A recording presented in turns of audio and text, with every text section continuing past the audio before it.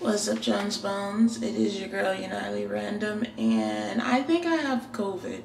Okay, and like, let me tell you, it's not because cases of COVID have been going up recently. It's just more so because, um, maybe it is because cases of COVID have been going up recently. It was at this moment that he knew.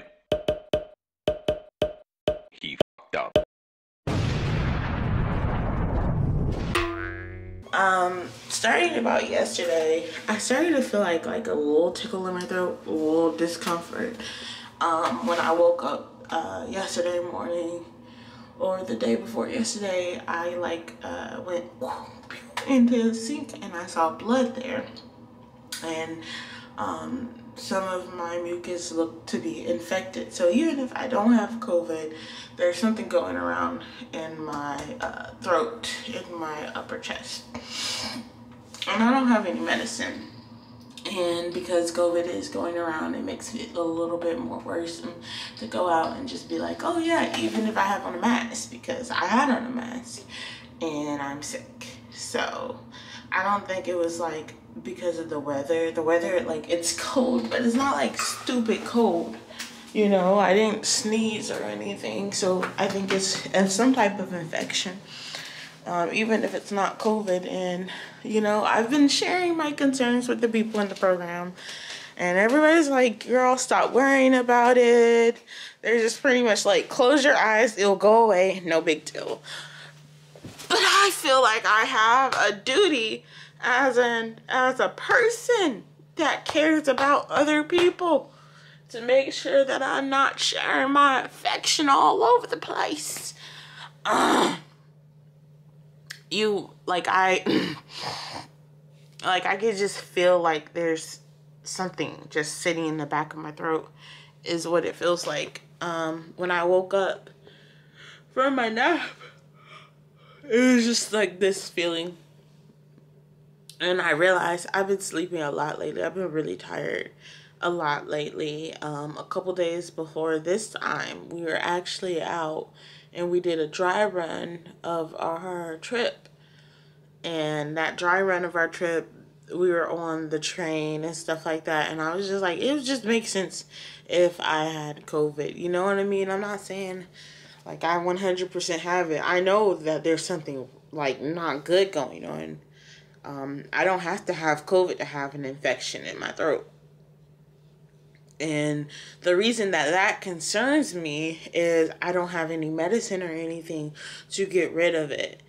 Um, so even if I just sat around and like waited for it to go away, that there's a problem that comes up from that because I don't know if you guys know about it, but back in high school, I was diagnosed with um, chronic bronchitis. Um, and to my understanding, it's just like it's a chest infection that kind of leaks into your lungs. And I don't have time to be dealing with something like that. Um, so yeah, I'm a little worried because like a little infection in the throat can easily become an infection in my chest um, even if this isn't something that like I never went and had surgery or anything about, you know what I mean? And but I don't have any medicine to stop it from moving to my chest. So we're just gonna have to trust my body.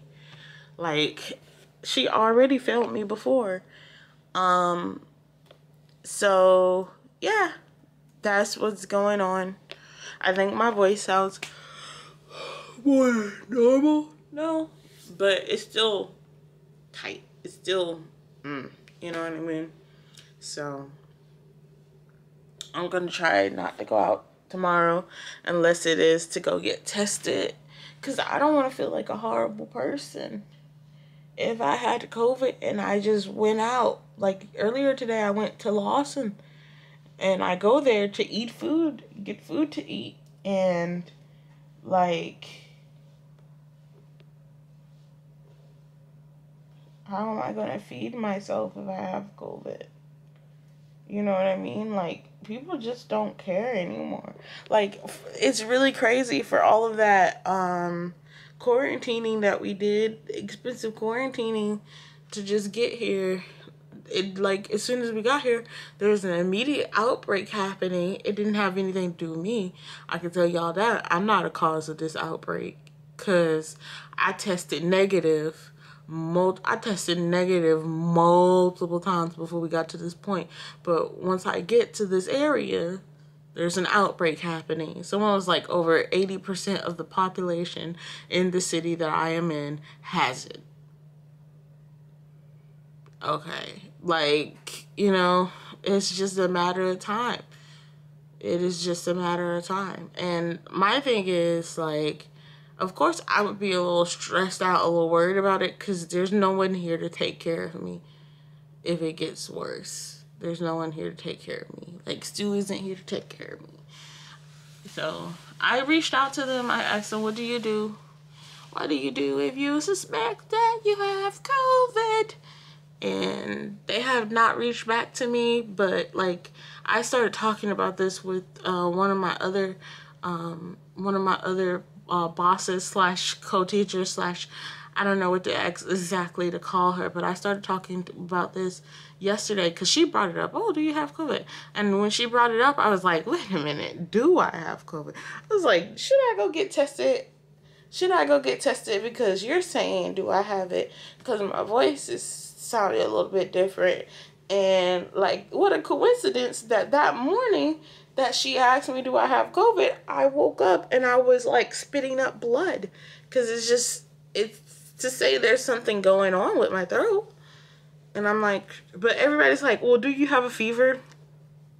That's the thing that gets me because the times that I might have had COVID in the past, girl, I did not have a fever. I never have a fever. I don't run hot. I am hot. so, yeah, it is what it is. It, it is what it is. I got a bunch of water. My thing is I don't want the the ladies that come into my room. I've been going downstairs and eating breakfast.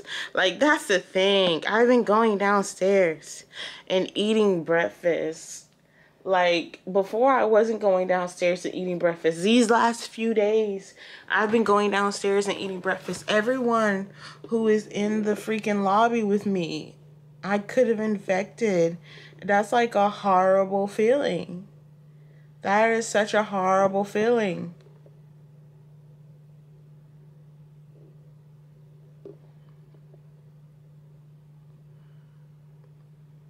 Or or in another way like if we're gonna think of it in a different way someone from there gave me covid.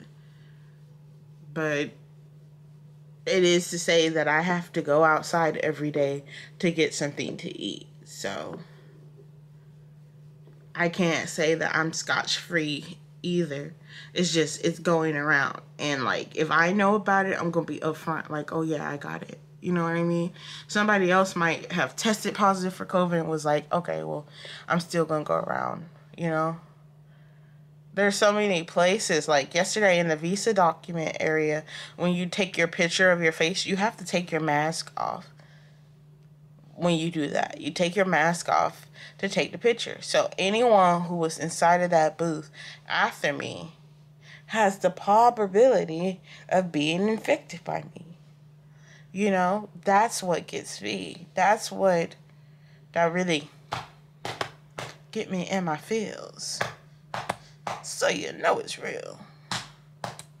I don't know what to feel, but I know that I don't feel 100%. My throat is achy. I'm spitting up blood and infection. Did I mention COVID cases have risen?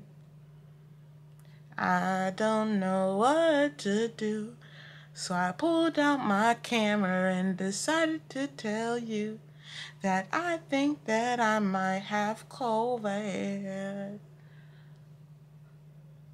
Yeah, yeah. By the time you guys get this video, it's gonna be way, way late though. I could give y'all the date. Today is 12th 30th 2022. So that's the date this video if anyone watches to this point. Oh, but yeah, definitely got to get tested tomorrow. Hi, it's me, future Alia. Um, I'm coming in to tell you guys something that happened like pretty much the next day. And I'm wearing the same thing, so I was like, oh yeah, this can go in the same video. Okay, so anyway, um, I decided that I was gonna sleep in. That's a cute little shirt. It's my shirt. I was gonna sleep in the next morning and you know, I was chilling in my bed. And what I do when I go to these hotels is in general, I always lock the front door.